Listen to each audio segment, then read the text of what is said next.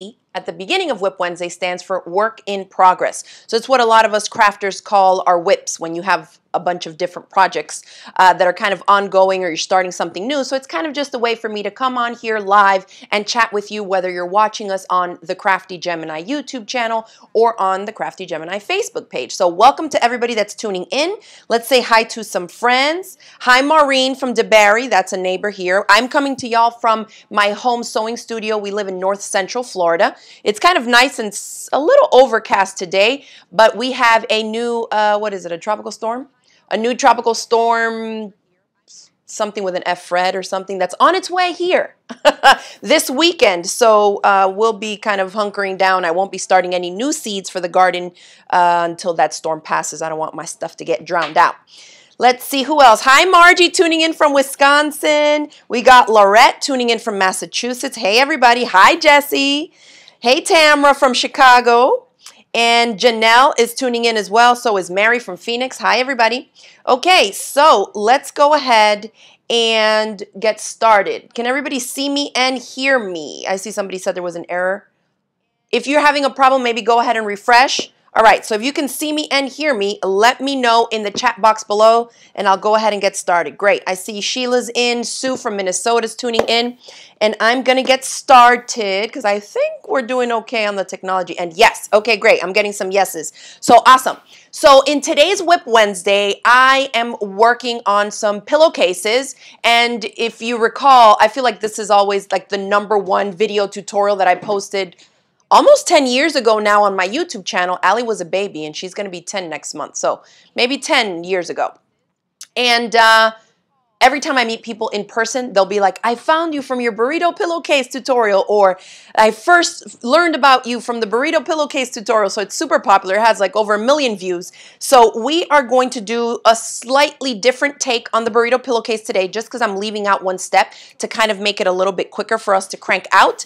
And I have a sample here to show you. So this is what it would look like. And if you've made it from my tutorial, you know that in between the body of the pillowcase pattern and the cuff, we have have like a thin little accent trim. So I'm skipping the accent trim. These are just some new pillowcases for my daughter's room. She's really into navy right now. So we're going to be using some different navy fabrics. All right, so we've left out the little trim. If you want to see the step-by-step -step edited video tutorial, I included a link for that uh, below this YouTube video if you're watching us on YouTube. And we'll go ahead and include it in the chat on Facebook as well.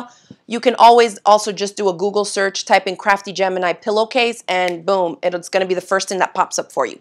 All right, so we're going to make it real simple today, but as you can see in this sample, I made it with non-directional fabrics. So let's go ahead and switch over to my over-the-shoulder cam here, and we'll talk a little bit more, and I can show you a little better because I have a wider shot here. Perfect. Okay, so here's the pillowcase, and this overall kind of tossed floral it does and when we talk about directional prints that just means that it doesn't matter which way this is oriented, right? We can still tell that it's flowers and they're kind of all sprinkled around. So it's not like text or uh, a character or some type of uh, figurine that you need to read it from left to right depending on which way you place the pillow on the bed. Okay, so what I wanted to do for this demo is I'm going to walk you through making one with just two fabric pieces like this, one main body fabric piece and one for the cuff. And then I have cut out two pieces of when you're to basically walk you through some tips if you're using directional print how you'd want to cut it. I know that a lot of you like to make these pillows for kids or for charity and a lot of those fun novelty prints that are on the market are all directional. So i went ahead and pulled out another navy directional print that i have here with little unicorns for Allie's and let's see all right, hey, we got a bunch more friends tuning in. We have some of you saying that you've made a bunch of these pillowcases before, so that is awesome. If you haven't, stick around. Maybe you'll learn some tips so that you can crank some out using directional prints as well. All right, so let me scoot this stuff out of the way. So to get started now, one thing to note is that the size that I'm going to be working on here is just for a standard pillow okay, which typically measures around 20 by 26 inches, but even here in our house, we have standard pillows that have all kinds of uh, different measurements, okay? So we're just gonna keep it simple with this. I know a lot of times people will ask me, well, what are the dimensions if I wanna make it for a king size quilt? Or a king, king why do I keep saying quilt? um, a king size pillow. So I don't use king size pillows, so I've never made one for a king size pillow. If you have and you know the dimensions off the, the top of your head, go ahead and put it in the chat because I know a lot of people will benefit from that since I often get that question asked a lot, but I've never made one for a king size pillow, not a quilt, pillow. Okay, so normally I would start off with whatever the main fabric of the pillowcase is going to be. I keep it just as it came off the bolt. Meaning, if you walk into a fabric store or you order it online and you're ordering like designer quality quilting cottons, this is how it's going to come. Selvage and selvage at the top, and it's usually folded right here on the bolt. Okay, so that's what I mean when I say the same way it came off the bolt. So the length that you're going to want of a piece like that is going to be 24 inches. All right, so this one is cut to 24. That's for the main body piece. Then the cuff itself, I cut to half of that. So 12 inches by what we call in quilting and in fabric yardage like this, uh, the width of the fabric because the fabric from selvage to selvage is the width of the fabric. And this is usually if you're working with designer quality quilting cottons and most, you know, even quilting cottons that you get like at your big box Joann's fabric store and stuff like that, they usually range in width from about 40 to 45 inches wide. And that means from selvage, which is this white strip here, and selvage, okay? So that's what you're looking for, something that measures about 40 to 45 across the width. And then for the cuff, I cut it just to 12 inches, and then the body to 24. So let's talk about this directional print. Okay, so when the fabric comes off the bolt like this, I see the unicorns and they are kind of tossed all over the place, but there is still a correct way to orient this so that they're mostly reading up and down because they're not all completely upside down either. So the, the, the right way to read this would be like this, where the unicorns are all reading from top to bottom, and some of them are facing to the right, to the left, kind of tilted and standing a little bit up, but they all read this way. Well, in order for you to see if that fabric is going to work for you in a directional sense, um, what we're going to do is open it up, basically going over the first two steps of making the pillowcase. Um, Estrella's asking, does that account for shrinking after washing? So if you're using the better quality quilting cottons, it's only going to shrink about 1 to 3% at the most. So as you can see in this one, the standard pillow that's inside of it is still smaller, right? So even if I were to wash this because I didn't pre-shrink it and I wash it, it's not going to shrink that much to make it a problem, right? And if you are hesitant about that, two things you can do. One is pre-wash your fabric and two is maybe add on an extra inch or so so that you just make sure you have extra and not less than what you need, okay? All right, let's see. Do, do, do. Okay, Mary Jo is saying for a queen size pillow, she cuts the fabric pieces 20 inches by 30. So, I mean, it's a lot of just trial and error and playing around with what works for you, especially if you have kind of like a set um, standard pillow or whatever size pillow at your house. I would say go by those measurements and then adjust accordingly to see, you know, make one regular one first, see how it fits. If it needs to be a little bit bigger, a little bit wider, you can adjust from there. All right, so the first two steps would be to place your, the main exterior fabric of the pillowcase in front of you with the pretty side facing up like this, selvage on the left and selvage on the right. Now, if I do the same thing for my cuff, and it would be up top here, pretty sides together, Okay, this is basically the positioning for the first step of making the pillowcase. I'm to stop right here and I'm just to turn things out and fold them the way that it would be as we work our way through the steps so you can see how the unicorns are to end up looking, right? So if I sewed this here, that would be the cuff, this would be the body, then this whole thing would get folded in half with this. And this is just part of kind of how I like to teach and show people like walk yourself through visually. How is it supposed to look? So the cuff is sewn up here and this is the body of the unicorns. The unicorns are reading correctly but only because i have it oriented like this and you're not going to sleep with the pillow like this right? We're going to turn it so that the cuff is to the one side and then look what happens to the unicorns. They're turned on their side I personally don't think it's that big of a deal. So if you only have directional prints, just go ahead and make some with it. Especially if they're for kids, they're going to love it. As long as, you know, whatever the cutesy design is, nobody really cares. But if you do want it to be oriented correctly, you'll have to cut it a different way. Okay? and I'll show you. I'm going to keep this cuff because I'm still going to work with this. This is what I would call a non-directional print. It doesn't matter which way the little jacks are going, right? Let's see. Sharon says this pattern is plenty big for a standard and works fine for a queen size too. It's bigger than the ones you purchase, so that's good to know. Again, just you know, check the tag on the pillows that you have and see what their what the measurements are. I've seen some that instead of being about 20 by 26, they're instead like 20 by 29. So they're just like a little bit longer. And so in that case, you could just add a couple inches to the body and or to the cuff, okay? Because we're going in that direction lengthwise. All right, so this is the wrong one. And so this one here, let me see. All right. So now this one, I'm going to orient it the way that I had it before. So the, the way that it would come off the bolt is like this. Remember, the selvage on one end and selvage on the other. I don't have a selvage here because I've already trimmed it to size. But you can see if I would have cut it like this, the same way that we oriented the other one, that's how we would have ended up with the unicorns uh, facing the wrong direction. So what you have to do in this case instead is to cut it. Remember we talked about the or the the width of the fabric on designer quality quilting cottons being 40 to 45. I went ahead and cut this 42 inches along the lengthwise okay? Which is more than a yard. So you it requires, if you're going to be turning things around to make them directional, it requires that you have more fabric. So whereas for this, we cut 24 inches, which is less than a yard by the width of the fabric, here we needed to go 42 inches this way and then cut it down to the 24 in the opposite way. So let me walk you through this. I have the selvage going this way Okay, so along a selvage edge cut is where you need to have that 40 to 45. Okay, and then we're going to take our cuff. So we're still going to do the same thing. And I'm actually going to do it to the other side. We'll trim away that selvage after. So we'll do the same thing and visually just walk through to see if we're doing it right. So again, the cuff would be up here, the same width, okay, going lengthwise together. I would say one on top of the other, pretty sides touching, right? We're going to put some pins there eventually. But if I flip this to the right side and then I fold it in half, like we just mentioned doing, because these are going to be the steps. Now you can see that the unicorns are kind of sideways so that when we do turn it and have our cuff here and the body of the pillowcase here, now the unicorns are oriented correctly.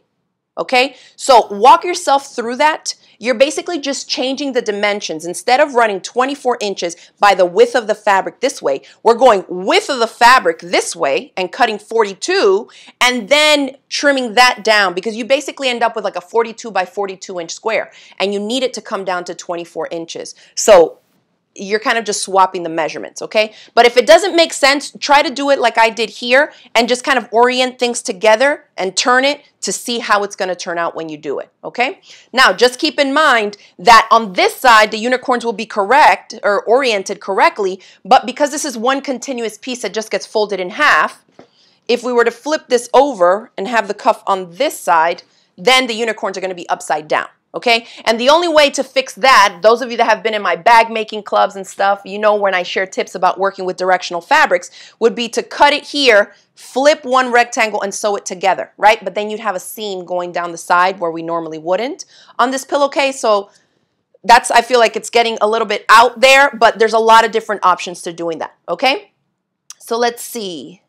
Make sure I'm not missing any quick questions here that have to do with this. Okay, all right, so let's go ahead and set it up. So this fabric here, pretty side face up. Take my cuff fabric, pretty side face down.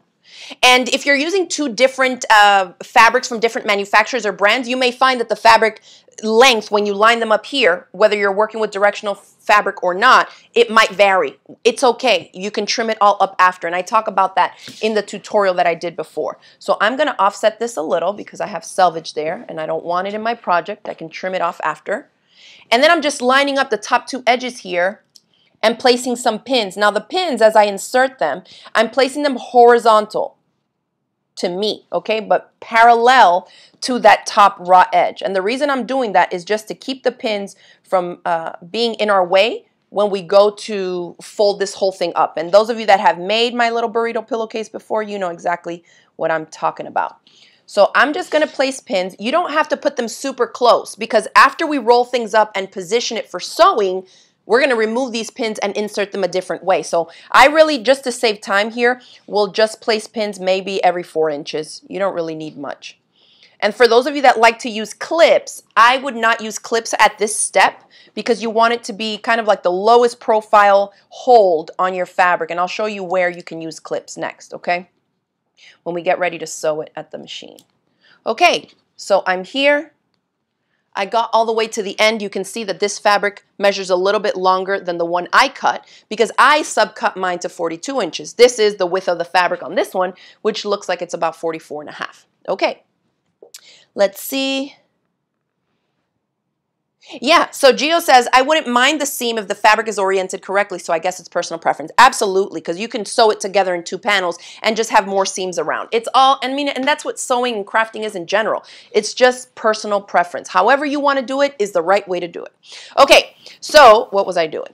Now we're going to flip the cuff fabric up and away from you. So you should be looking at both fabrics pretty sides up. I'm going to take the body of this and I'm rolling it onto itself. And just make sure that you don't roll it super wide like this. You want it to be rolled so that the roll itself maybe is about three to four inches. The reason for that is that it's gonna help keep it away from this top edge, which then gets sewn in. And at this step, we don't want it to kind of get in our way and have us sew through more layers than we're supposed to, if that makes sense. All right, so this has been rolled up all the way up to where the two fabrics meet. Then I'm gonna take my cuff fabric and flip it down over top of it. Then I'll grab it here at the pins and I'm to flap that fabric back and then bring this up. All right, so I'm to show you that again. We roll, roll, roll the body fabric all the way up to here, right before it meets. Grab your cuff fabric, bring it all the way over your roll. You're looking at your pins again. Grab it at the pins and grab that roll inside there too so it doesn't unroll for you flip it down. So now I'm looking at the pretty side of the cuff and then I'm to flip this down and up and bring it to match up with the raw edge up here. So this is where we're now going to add. Where we pinned here just two layers of fabric, we now need to add this third layer of fabric. And this burrito method is what allows us to have clean seams on the inside so you don't have any raw edges. These three raw edges, the two that are pinned and this additional one that I've added now, are going to be completely concealed, all right? So now I'm folding this up and I'm going to remove my pin and grabbing the last layer I just added of the cuff, I'm going to insert the pins uh, vertically here. Perpendicular now to the raw edge of my fabric because we're going to sew it down. And I always recommend that my students sew with the pins inserted perpendicular because that way you don't run the risk of not being able to see where the needle is coming down and you could possibly hit the metal pin as you're sewing. And I definitely never recommend that you sew over pins just grab all your three layers make sure that you know none of them slip away from you because that would be a mess too and if you use clips, this is where you would use the clips. Okay? For thin layers like this, I like to just use the pins, but you can just place clips here. And I do that a lot when I teach kids. The clips are really easy for them, and they don't have to worry about getting pinched the whole time they're sewing. So you could do clips like that, or you can do pins, all right? Just make sure, double check, make sure you're grabbing all three layers the whole way.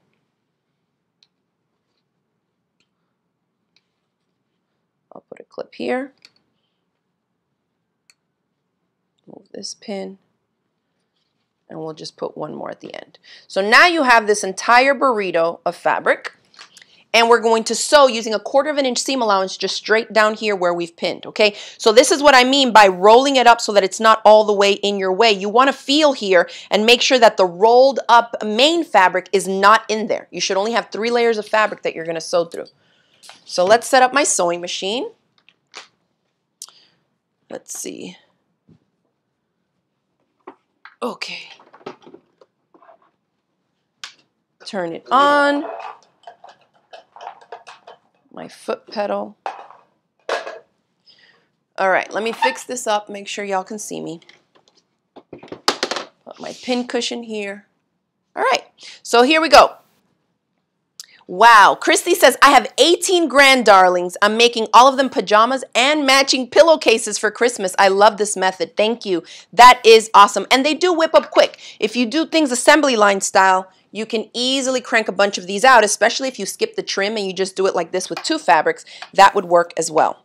All right, so let me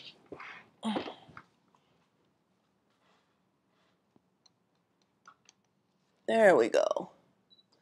Get you a little bit more close up. And I'm going to change my needle position so that I could be a quarter of an inch away from the edge.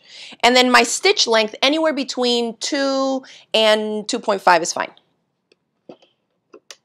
I'm just going to start somewhere here because I can see that the main fabric doesn't start until further up. That's fine. Let's crank up the speed a bit. Needle down. I took a few back stitches there where I saw that my main fabric started. So here's a tip for those of you that are not used to maybe sewing with heavier things or bulky things with multiple layers.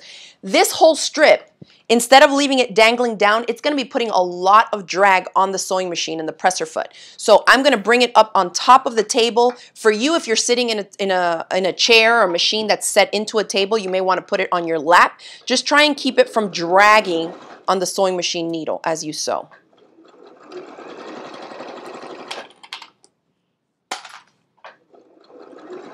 And now if you're new to sewing and maybe you're not a quilter, if you find that a quarter of an inch seam is kind of narrow, you can absolutely use a 3 eighths of an inch seam for this project too.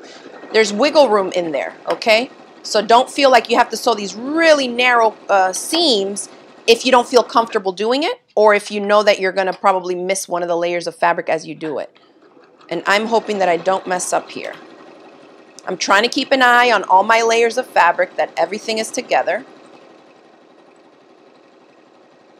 So this is just one straight seam so far, all right?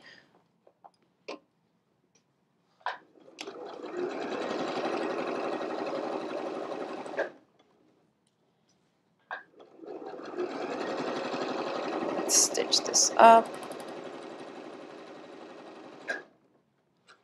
Let's see. Yeah, so Sherry says, I usually accordion pleat it and put it in my lap. That's a great way to do it.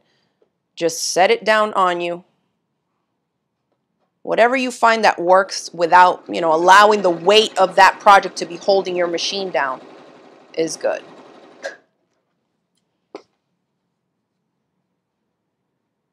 Okay, the last bit here. Let me peek make sure that navy fabric is in there.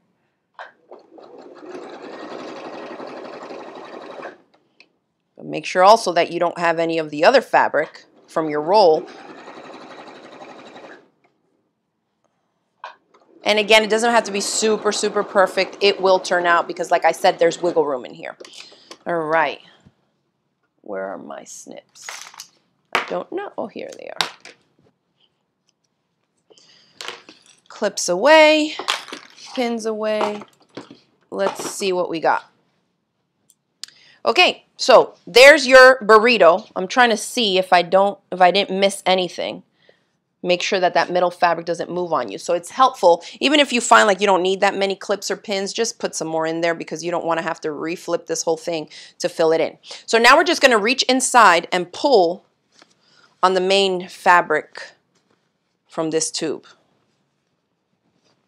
Just pull and pull and pull and keep pulling until everything comes out and you should be looking at the right side of the cuff on both sides because that we folded in half to conceal those raw edges. And then the main fabric will have a pretty side and then a wrong side because that fabric is still open. Okay. This project, the parts that take the longest is really the pressing. Okay, so here we have our cuff. Here we have the main fabric. And if you fold it in half, ta-da! There are my unicorns, correctly oriented. Again, because it's one piece, remember that if you flip it this way, they'll be upside down. So up to you which side you decide to put the cuff on, right? Because you could put it on this side and then have it be the opposite, but same difference. Now, this is key. And I think this is helpful to note for other projects. If you ever have a seam that you sew, and this happens a lot in quilting too, certain areas will roll. They get kind of bubbled over like this. And I find that one of the most common beginner mistakes is that they just press it like right as it is. And you don't want to do that. You want to make sure that you pull the fabric out of that seam first before you press anything. So for this, I'm going to grab my tailor's clapper here. And we do have some of these in stock. I don't think we have very many. We wiped out my distributor with the last bit that they had. So I did buy the rest of those. And they are listed in the online shop. We'll put the, uh, the link here in the chat for y'all too.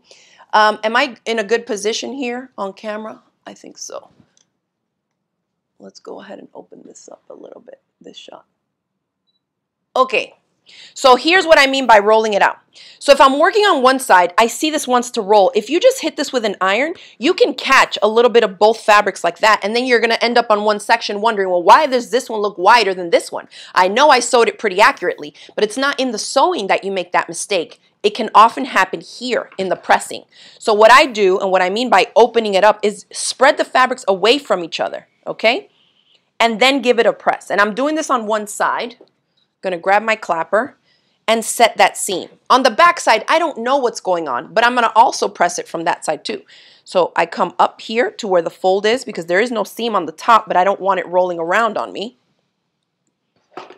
Okay, now, if you're not familiar with a tailor's clapper, if you watch my videos, you know what a tailor's clapper is by now. But this is just a piece of hardwood that um, helps kind of take away the heat and from the iron, from the fabric, and it just sets creases, folds, hems, and everything beautifully. So we use it all the time in handbag making, in quilting, and patchwork, and then, of course, in garment sewing. So again, I'm separating those two. I don't want it rolling and have me losing fabric or making things look uneven when I know that I sewed pretty straight. All right, so now we're to flip it over, do the same thing to the other side, and you'll see sometimes it happens that when I press from one side, it rolls. So like here, I have to, you see how this is like rolling over? I would lose like a, almost a quarter of an inch there. Roll that up and away. And if you find that just the heat of a dry iron doesn't help, you can always spritz your project and the fabric too with a little mist of water and that will help kind of release any wrinkles or creases that maybe you set that you didn't want in place. And then hit it with the heat again, then with your clapper. Okay, all that helps. Oh, awesome. Terry says, I love the way we see you in the bubble and demo the project at the same time. Thank you. We try to do that because I know sometimes it's no fun to have me talking and then my hands are just going like while I'm talking and I'm not really showing anything. So see here, you see how that's folded back? I need to release that fabric from there and then press it up and away. So take your time with the pressing steps. They are essential in all of your sewing projects. It takes long, but I don't know why I like pressing. I don't like pressing like just big yardage of fabric to prepare things, but I like pressing in, in steps as I'm making stuff. So because I set that crease there since I hit it from the front side first, I'm going to mist it with a little water to release that. And then I'll repress this, making sure that I'm spreading that fabric up and away from each other at the seam. All right. Yeah, and if you're enjoying this demo, if you're learning any tips, go ahead and give this video a thumbs up. If you're on Facebook or on YouTube, you can also click the share button to Tell other friends about it so they can tune in that we are live here on Wednesdays at 1 p.m. Eastern doing demos, chatting, sales, new courses, all kinds of stuff here. All my little crafty Gemini happenings. All right, so boom, that's done. Now, let's go ahead and clean this up. And by clean it up, remember when I said, depending on whether you cut a directional fabric in different measurements like I did for this unicorn fabric, or if you're using different brands of fabric, different manufacturers, you'll see that you'll have it be a little bit off on the ends. And so this is where we want to get my big ruler out of here. This is where you'll want to clean things up, okay? So I'm just going to take my long strip ruler make sure that I have a square corner here. So I want this to run here and here. So I'll put a line on my ruler up at the top and then I'm going to run it down the side here. And whatever is sticking out, I'm trimming. All right, we'll do the same thing to the other side. And if you didn't cut it yourself, like you're using directional prints the way that I show you in my other tutorial, then um, you'll see that you basically will be trimming away a selvage from your main fabric and a selvage from the cuff. Those are the fabrics that you'll be trimming up at this step. Okay, super cute. Now I'm going to go ahead and trim off the selvage that I have on the other side because remember we cut it differently for this um, unicorn fabric. So I'm just going to line things up here, looking good. And I'm going to trim away this whole chunk of selvage here because I do not want this in my project.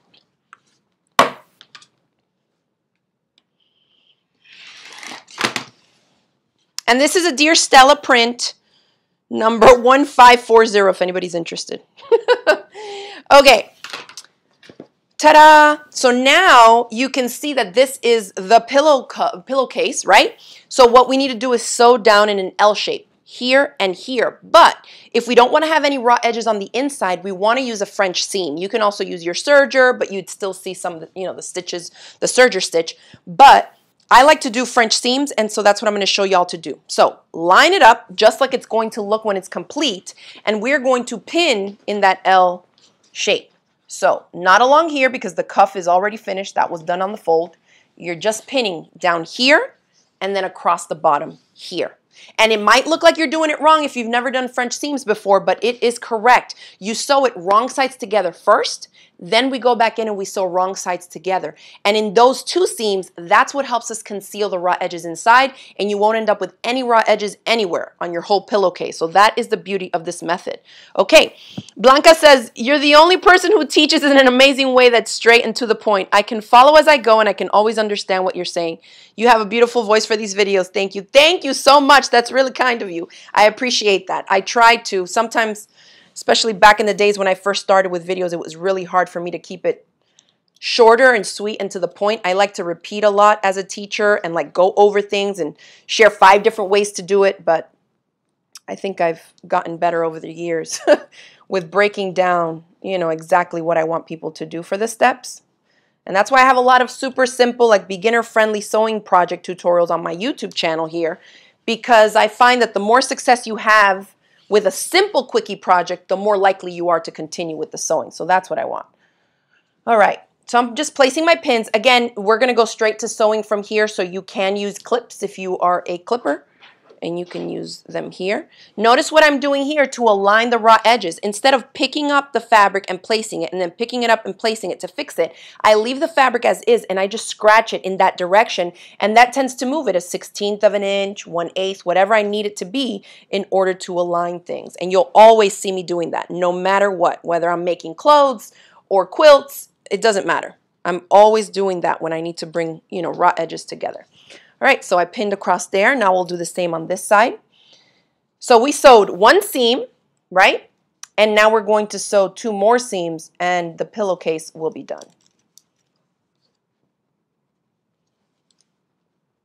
Not bad. Oh, awesome, Melanie. Thank you so much. She says she's enjoying learning from me. I'm glad you're tuning in. Remember that if you like this demo and you're learning some tips, make sure you give us a thumbs up and share it on your uh, page. Okay, so now we're going to sew.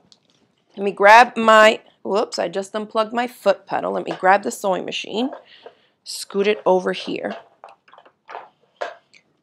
And I know there's like 30 of you on the wait list right now for the Juki LB5020 sewing machines that I use in my demos here.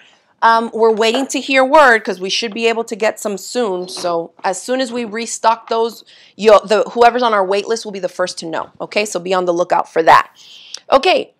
Oh, Lindsay says she loves my little tips and tricks. That's what it's all about because every time you learn a new little tip or trick in a specific project, it's not just for that one, right?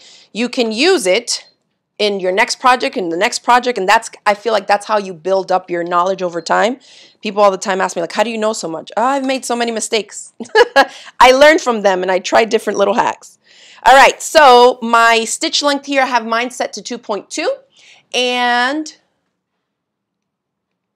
and Okay, and my needle position is set so that I'm sewing about a quarter of an inch seam.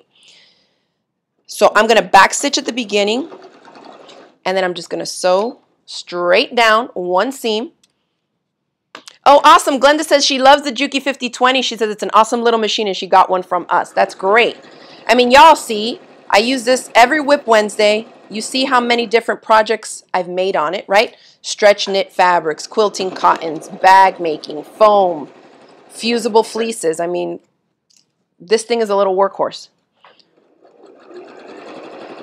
All right, so just a quarter of an inch seam in the L shape. So we are going to pivot at this bottom corner when I get to it. Don't just stitch straight off and then pick up a new seam. You know, you want to pivot. So another reason it's a good beginner project to get you practicing those skills.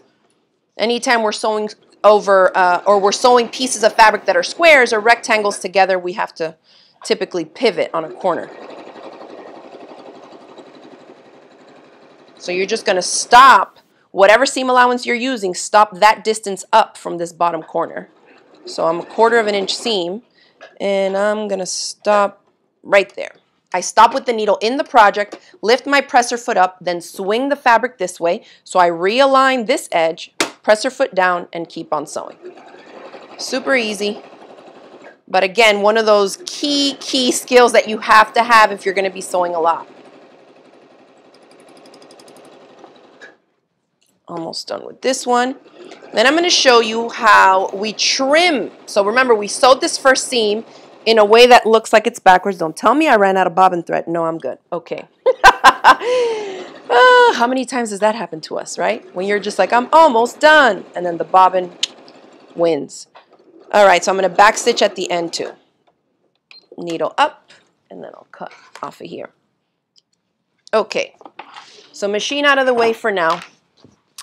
Now we are going to trim the same seam that we just sewed, trim that seam allowance down to about half. So if you use a quarter of an inch seam allowance here, I'm now going to trim it down to an eighth of an inch. Okay?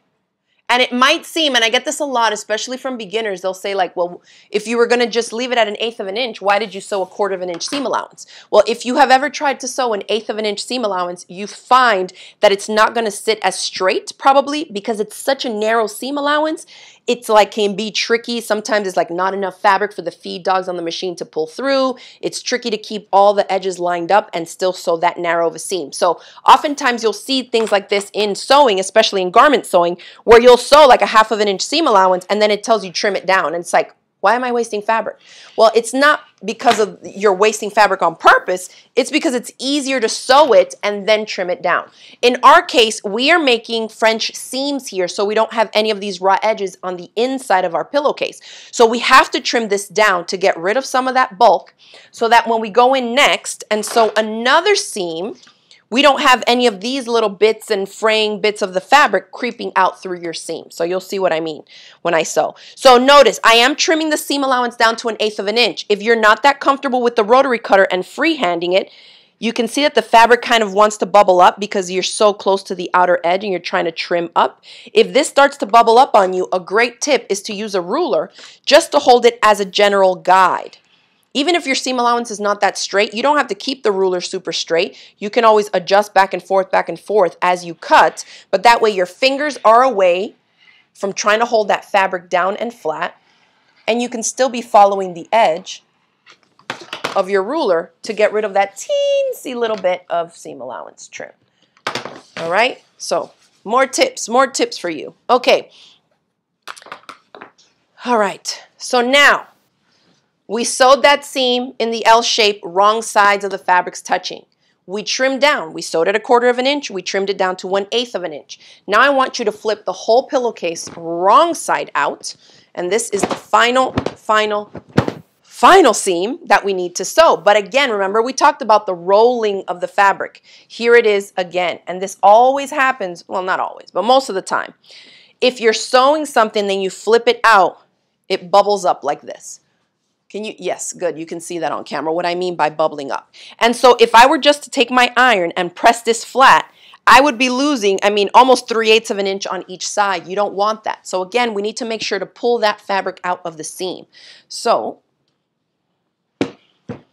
And I know this is like one extra step that takes a little long right before you're done sewing the last seam, but this is absolutely key that you take the time to press here before you sew the final seam. All right, so I'm running my hand inside, pushing on the seam, and lining it up so that the seam line is right on that outer edge, like the side edge of the whole thing. So I will do the cuff first, hit it with the clapper to help set it, and then you're going to run your finger down the sides, again doing the same thing. Pull that fabric out of that seam and do it in chunks.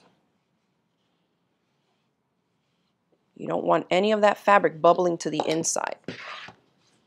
And the flatter you have this, the easier and the quicker it's going to be to sew the last seam because this needs to be lying flat because that's what you're going to be aligning with your guide, right? If we're going to sew quarter of an inch through here, this cannot be crooked and have some in and some out because then your final seam is not going to be straight either. So I'm just reaching into the seam and pulling that fabric out to get everything as flat as possible as I press.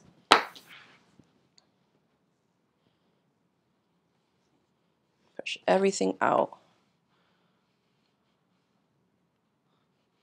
Okay. Lindsay says she uses a ruler and she sticks it inside to push out the fabric. That is a great tip. You can do that on the inside like that and push everything out.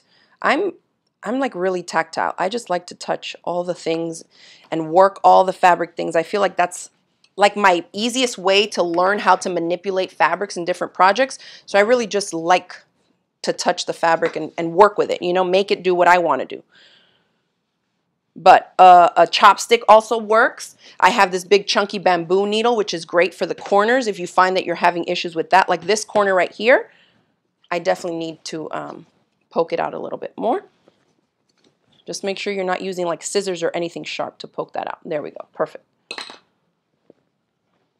All right, so I'm done pressing this. The clapper really, really helps here because normally you would probably if you didn't set them super, super flat, you'd probably have to maybe go in and put some pins or some clips as well to hold it flat for when you're gonna go in and sew. But you can see how crisp all my stuff is. So I don't need pins. I'm just gonna go straight to the sewing machine and stitch up the last one. oh, Simone says, I love that you don't assume beginners know what or how to do various skills. That's that's just the way that I teach. Which for people that know what they're doing, it can be super annoying because they're just like, I already know that, get on with it. But but I teach for the people that don't know it. so if that's you, you can just kind of fast forward or skip over some of the stuff that I tend to repeat a lot or go into further explanation for beginners. that's just the way I, I teach. It's hard to get away from that. Okay. So we're going to go in and sew a quarter of an inch seam allowance. Now, here's another tip for you. If you sewed a quarter of an inch in the first seam and then you trimmed it down to an eighth of an inch, but you're not that great at sewing super consistently, I would say on this step, sew using a 3 eighths of an inch seam because that's just going to give you a little bit extra, right? An extra eighth of an inch wiggle room there so you don't run the risk of going narrower on this seam and uh, have the risk of like the little fraying bits of the previous seam allowance showing through, if that makes sense. So an eighth of an inch is not really going to affect the size too much. So try that if you find that like a quarter of an inch seam is a little bit too narrow for you. So I'm just going to go a hair yeah, I'm going to do 3 eighths of an inch. Why not? So we'll start at the top here at the cuff, and I'm going to take a couple back stitches to secure that. And then I'm just going to continue sewing down. I don't have any pins put in here, and because I'm sewing through a little bit more bulk, I'm going to bump my stitch length up to 2.6 this time. So if you don't know that tip, remember that if your machine tends to kind of get hung up or you feel like it's not feeding the fabric through as quickly as you'd like, consider lengthening your stitch length to help the machine pull more fabric through at a time. And that can happen when we're sewing through bulky things. Of course, the cuff has more layers of fabric than the body of this does. That's why I lengthened it especially up there. Here, I mean, it's not going to make too much of a difference two millimeters in length is not a big deal. All right. I'm basically stitching here a seam allowance that will allow me to clear completely the previous seam allowance. And that's what a French seam is. Instead of sewing the seam once, you sew it twice, but you end up with a clean finish on the inside and no raw edges. So again, I pivoted, needle down in the project, lift, turn my fabric, presser foot back down, and then continue stitching across this L shape. And that's it. We're going to give it one final press when we flip the whole thing right side out, and that's, that's it. Doesn't take long at all, especially if you skip the cut, the little decorative trim. My, my tutorial that's on my YouTube channel, oh, I'm trying to backstitch here. Give me a couple back stitches. Uh, my tutorial that's on the YouTube channel, if you just type in like Crafty Gemini Burrito Pillowcase or just Pillowcase, that one we did three pieces of fabric because we add a decorative little thin trim, another strip of fabric in there in between the cuff and the main body. But for this one, we just did the cuff, the main body, boom. Two pieces, three seams, and we're out of there. And again, no raw edges anywhere. I mean, look, this, this side that we just sewed is the inside of the pillowcase. It's such a great way to finish it, such a clean look, and still beginner friendly, right? Doesn't require anything fancy and not much extra time at all. So, actually, let me leave this here because I, I can't help it. I'm like trying to save time and skip a step of pressing, but I can't. I just, I like to press and I like my stuff to look crisp. Okay. All right. Um, Annette says she's just tuning in because she had a conference call at work. Thanks for tuning in, Annette. And she's asking, will you have this as a video tutorial? So I do have it as a video tutorial, but if y'all would like to see me do an updated version, let me know that in the comments below because we're looking, we're putting together a list now of new video content to create for my YouTube channel. And I mean, that video is about 10 years old. So if y'all want to see a revamped version, let me know in the comments and um, we'll look that over as we, you know, prepare our editorial calendar to, to make more videos. All right. So again, I'm doing the same thing. I do it without even thinking about it. Is pulling out that fabric, right, from the side seam. Give it a good quick press. What a cute little gift. And there you go. I hope that those tips on working with the directional fabric helped y'all to give it a go because I know a lot of those like juvenile prints, novelty fun prints, um, a lot of them feature directional prints like this. So here, I can probably just pull this out. I don't have to go on on the inside. But if you needed to, you can always, you know, use a chopstick, a ruler, or a big chunky knitting needle and poke that section out. All right, so let's have a look at what we got here. We have the cuff going this way and the unicorns are oriented correctly even though it is a directional print so that worked out beautifully for us remember because this is one continuous piece if we flip it this way they're going to be upside down so just keep that in mind when you're working with directional prints especially if you're some of the ones that like to add like embroidery on it and do things make sure that you plan ahead for how you're orienting everything to the way that you want the design to look, which way is front and which is the back of your pillowcase. All right, let's go ahead and switch to my face here. These are going to be cute for Allie's room. She likes these. She said navy is her new favorite color, y'all. So, all right, let's see. Okay, great. Oh, some of you are saying that you do want me to do an updated video. So that's great. That's awesome. Sometimes I think like, well, I've already done that. And I don't think people are interested in seeing me do it again. But, I mean, nothing like new cameras and, and new video footage and cute new fabrics to, to make another tutorial with. Okay. All right, let's see. Oh, good. Some of you are giving me some other um, video suggestions. That's something that we're always looking forward to. I'm going to get ready to send out an email um, gathering some more, more information from y'all as we put together a new editorial calendar. And I posted on the Crafty Gemini Facebook page a poll. Was it yesterday? or the day before. There's a poll there with like a big question mark, and I was asking basically, what are your main struggles when it comes to sewing and quilting? Like, what do you struggle with the most? And I was actually surprised to see that a lot of you said getting started and like following through with the project from beginning to end. So it looks like a lot of you are maybe losing steam. Like you might go into a project super excited, and then once you start, it kind of just goes. So uh, I, I, think that's really interesting, and it's one of the ways that I like to offer my video courses uh, that I do in my clubs and bag clubs and garment classes and stuff like that is super step by step, so that you can follow along with us, and that seems to help keep people incentivized because we do giveaways at the end uh, to get people you know, completing the projects and going down uh, step by step. So I'll definitely be planning to do more stuff like that. All right. Um, great. Let me see anything else. Oh, Lucretia says, can you show what the seam looked like on the inside? Yeah, so the seam looks like exactly what we had just sewn. When you sew it, so here is, oh, I'm, I'm like showing this camera, but can you see how the seam is, it's not raw, it's completed seam.